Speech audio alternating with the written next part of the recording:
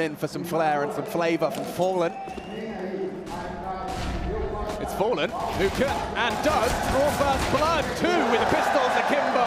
Oh. Blitzer down the middle, three on the top. Four out of Fallen, making magic when they need it most. Mayhem on the dual Berettas. Add that one to the highlight reel. Might have a new contender. We might have to review that one again. Let him have it. I'm sure he said it.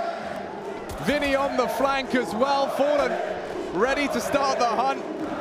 Max trying to play spoiler for the ace in the home crowd of Rio de Janeiro. And there it is.